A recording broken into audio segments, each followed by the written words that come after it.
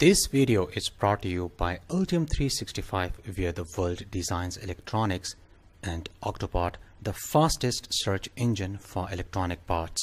In today's episode, you will learn how to make a 12 volt lead acid battery for your car at home. The complete process and techniques which you are going to see in this video can be applied on making completely new lead acid batteries or you can apply the same techniques for restoring a completely dead lead acid battery or if you want to fix a battery. For the battery making you will need some tools and dies. If you want to know in detail about these different tools then you should watch my last two videos on how to make lead acid batteries at home. When it comes to the positive plate selection, I highly recommend purchasing good quality cells or plates. These are a little bit expensive but trust me it tremendously increases the battery lifetime and performance. For a car battery, you will need 24 positive plates. You can reuse the salvage ground plates or you can purchase new ground plates. I have already these salvage ground plates so I will use these ground plates. You will need 30 ground plates. You will also need separator sheets. In the market you can find cheap and expensive separator sheets. Again I must say go for the expensive ones if you want long battery life. Separator sheets are used to insulate the positive plates from the ground plates. Its use is very simple. All you need to do is to sandwich all the plates. Make sure the rough face of the separator sheet is towards the positive plate. You will also need lead for welding the plates and for making the battery main terminals which obviously I will explain later in this video. As I said earlier that I'll be using salvage ground plates as you can see the contacts of the positive plates are longer as these are new plates while the contacts of the ground plates are shorter which means I will need to remake these contacts using lead. You can use a new battery container or you can use an old battery container like me. It's totally up to you. So I think I have shared enough useful information with you guys. I won't talk much during the rest of the video. I will only explain the most important things. So without any further delay, let's get started. Altium 365 lets you hold the fastest design reviews ever. Share your designs from anywhere and with anyone with a single click. It's easy. Leave a comment taking your teammate and they will instantly receive an email with a link to the design. Anyone you invite can open the design using a web browser. Using the browser interface, you are able to comment, markup, cross-probe, inspect and more. Comments are attached directly to the project making them viewable within Altium Designer as well as through the browser interface. Design, share and manufacture all in the same space with nothing extra to install or configure. Connect to the platform directly from Altium Designer without changing how you already design electronics. Altium 365 requires no additional licenses and comes included with your subscription plan. Get real-time component insights as you design with Octopart built into Altium 365. Octopart is the fastest search engine for electronic parts and gives you the most up-to-date part data like specs, data sheets, CAD models, and how much the part costs at different amounts etc. right in the design environment so you can focus on your designs. Links to the Altium Designer Altium 365 and Octopart are given in the description. There is some kind of carbon coating on the contacts so for nice welds clean the contacts of positive and ground plates. You can use a sandpaper or if you want to really speed up the cleaning process then you can use a grinder. Make sure you wear protective glasses.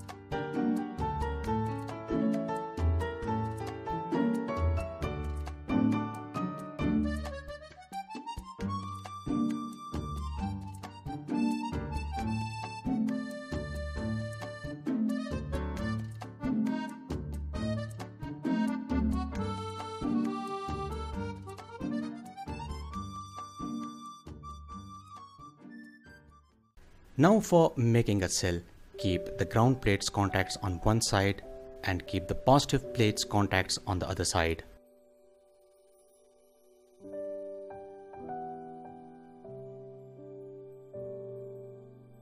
Now place the separator sheets and remember the rough side of the separator sheet should be towards the positive plates.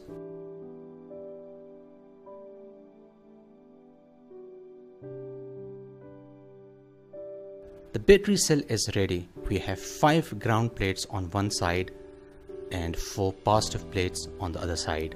All 6 cells are ready. Now we are going to make the battery main positive and ground terminals. If you want to know in detail about this metal die, then watch my previous videos on lead acid batteries. I will provide links in the description.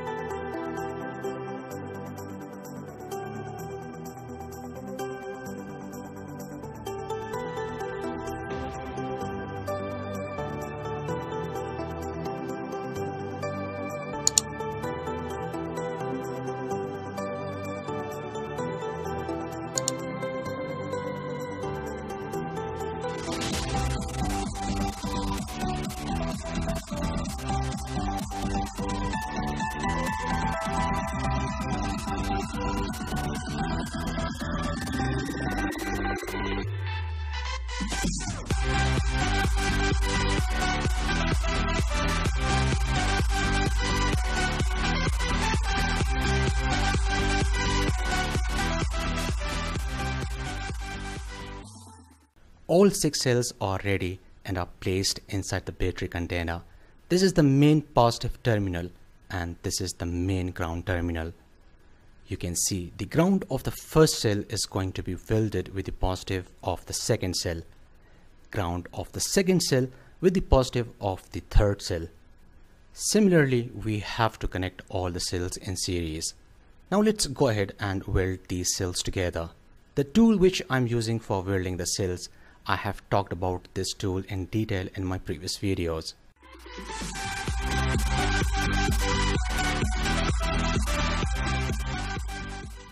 You can see all the cells are welded together.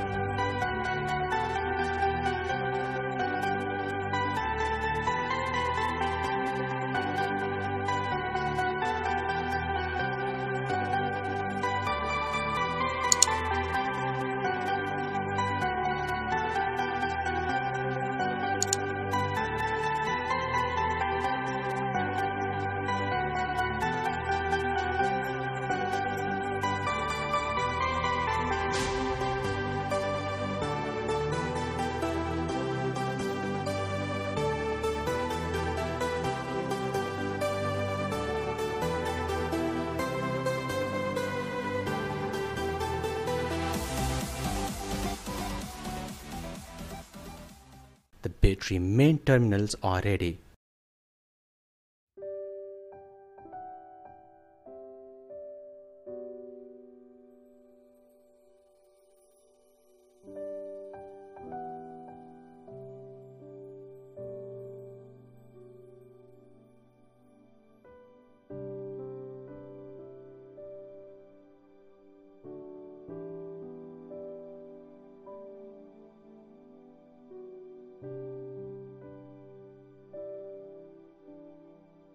Now the battery is completely ready and now it's time to add the electrolyte.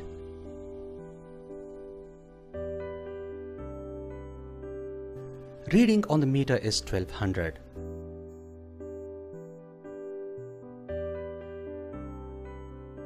All the cells are filled to the desired levels. Now I'm going to charge this battery for a few minutes and then I will share with you the voltage. I'm back after 20 minutes. This is how easily you can make any size lead acid battery at home. and this way you can save yourself a lot of money.